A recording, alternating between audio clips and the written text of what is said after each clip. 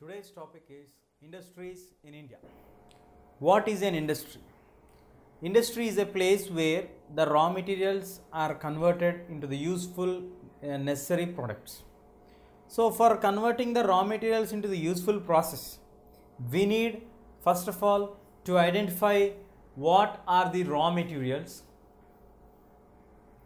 Then, after the raw materials are identified, they have to be carried to the spot of the place where an industry is set up. So we need transport. After taking them to the required place, again we need the machinery.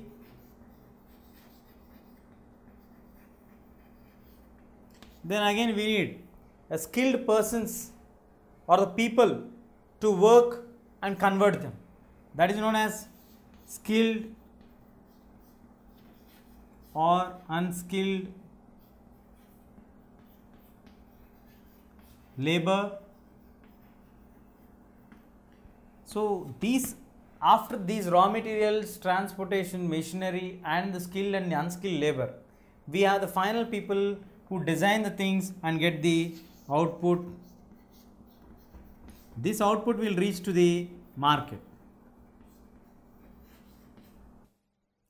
So, the raw materials, transport, machinery, skilled and unskilled labor output.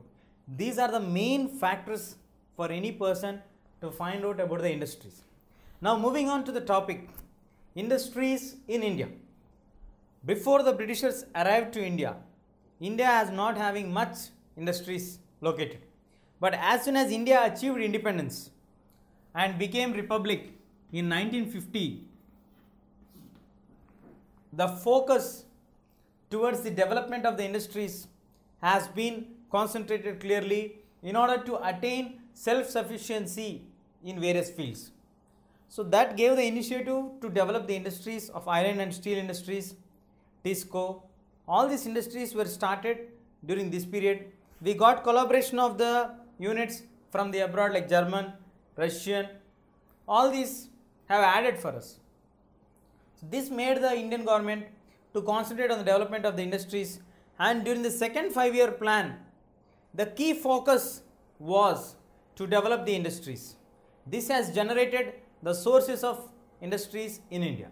Now once the industries have been started to develop in India, we have been seeing the places where the industries are located.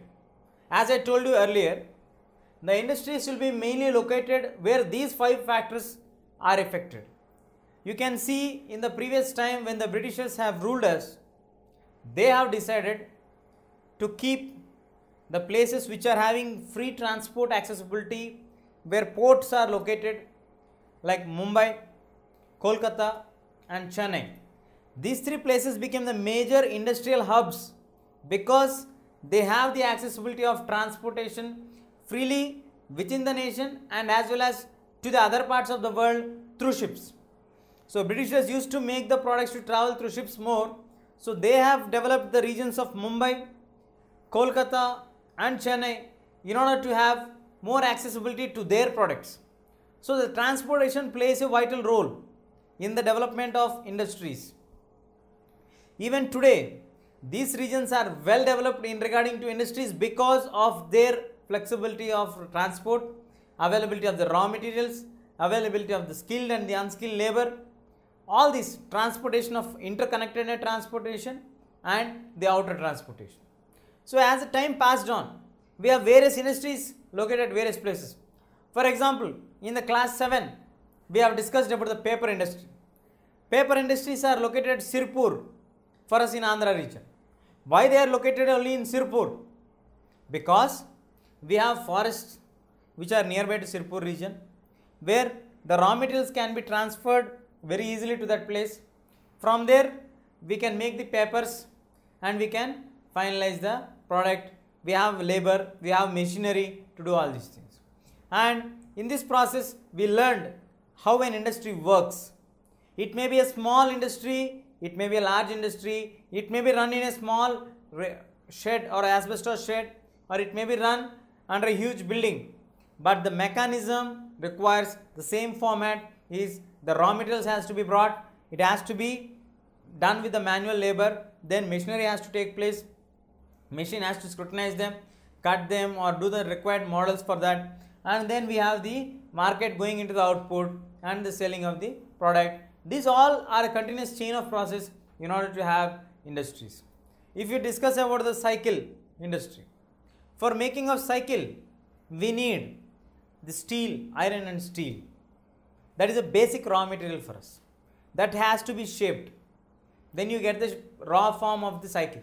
Then you can add for that accessories and you get the final product output.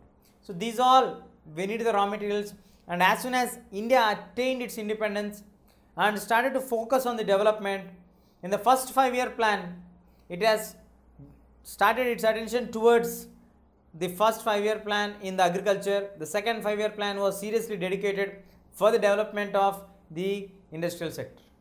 So they have kept the main target in the second five year plan to initiate the development of the industrial sector. In the industries we have various types of industries. Small scale industries large scale industries and the medium scale industries. Small medium and large. Small scale coming less than 5 lakh investments. Medium from 5 to 25 lakhs. Larger 25 to 1 crore. So these have divided the industries into different different categories and again we have the division of the industries into the agricultural based industries known as agro based industries the non agricultural based industries known as mineral based industries. So, this gives a brief outlook of what are industries. Industries are the places where the raw materials are collected, they have been cleaned, then they have to be made into the proper form of the shape required, then they have to be done with skill labor, machinery does the work and finally you get the output to the market. Place where raw materials are converted into a final useful product is called an industry. And then we need for the development of industries we need the concentration of the raw materials very nearby. Then we need good transport facilities we need machinery for us skilled and unskilled labor. And then the product comes to the connectivity to the marketplaces all these things add for the places and then moving on to the types of industries basing on the investment we call them as small scale industries medium scale industries large scale industries. Basing on the product output or like on what raw materials they take, we call them if they are basing on the agricultural based output or agriculture related products, we call them as agro based industries.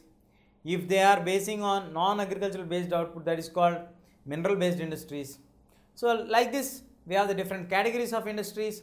Now, in this chapter, we shall analyze and discuss what are the key industries what are the factors that have led like this to make Kolkata a good hub for a particular product or Mumbai for textiles, Ahmedabad for cotton, jute, why is it developing jute there.